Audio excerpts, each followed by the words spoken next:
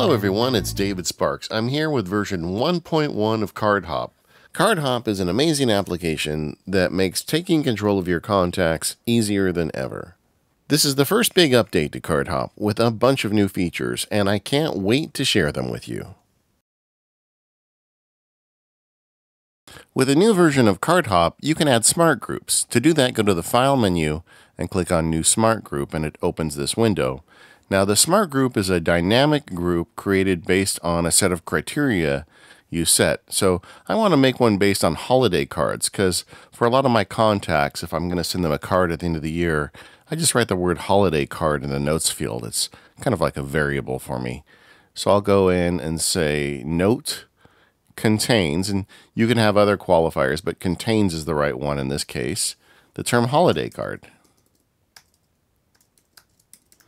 When I click OK on that,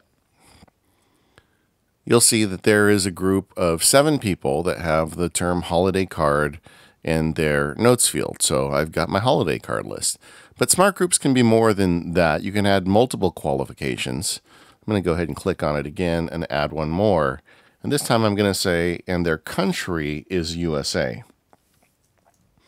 It's really hard to send international shipping, and usually I'll send an e card to people outside the country.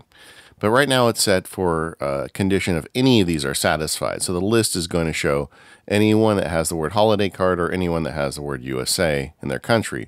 I want it to be all of those conditions. So if it has both holiday card and USA, then it qualifies for the group. And I'll go ahead and give it a name. I'll click OK. And now you can see it's gone from seven cards to five cards. These are the people that have the holiday card designation and are in the United States. Uh, but I want to have a little more fun with that. Um, let's say I want to see if it's people in the United States or the United Kingdom that I've got a way to send postage to see the United Kingdom. Uh, I can do that by making a nested condition. To do that, just hold down the Option key and you see how that plus sign turns to an ellipses. Click on that and then we can say any of the following. So it has to have both a note containing holiday card and any of the following and the following would be uh, country contains USA or country contains the United Kingdom. So now I've got a little more complex rule. If I click the word OK there, you'll see now I've got six cards on my list because one of these folks is in the uh, United Kingdom. They've been added to the list. These smart groups are a great way to slice and dice your contact data and make CardHop work exactly the way you want it to.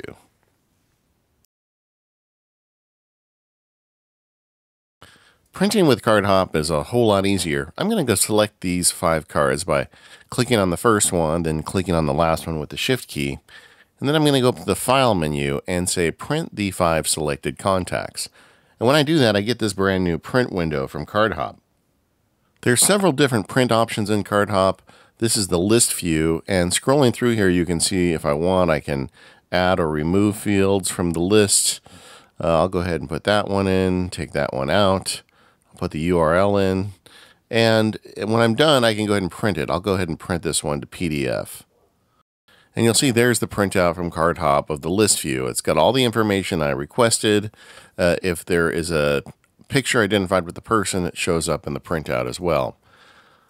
But there's other options for printing in CardHop. I'm going to go ahead and select the same five again, say print the five selected cards, and this time I'm going to switch over to envelope view. And this would give me the ability to print an alphabetized list of envelopes for just those people. Uh, going back to the idea of holiday cards, this is a great way to print those envelopes. And finally, if you'd prefer to print it out on labels, you can do that as well.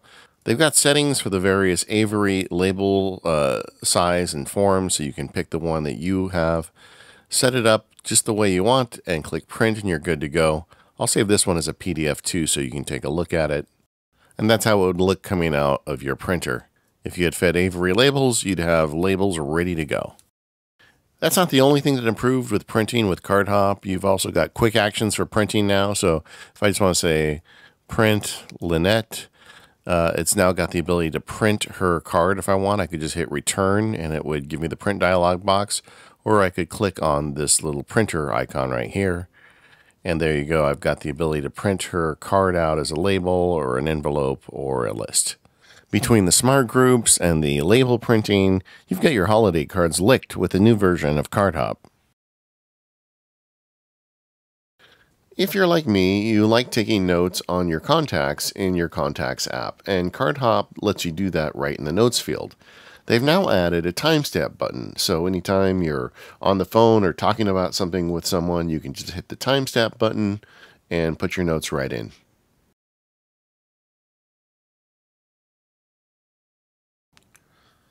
CardHop has always supported related names, but with the new version, Typing into a related name field now suggests other names in your contacts, making it even easier.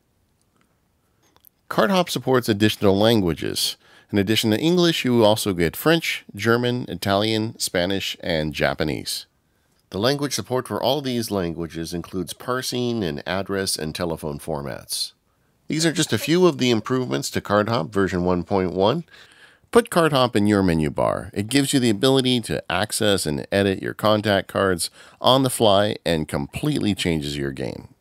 To learn more, head over to flexibits.com.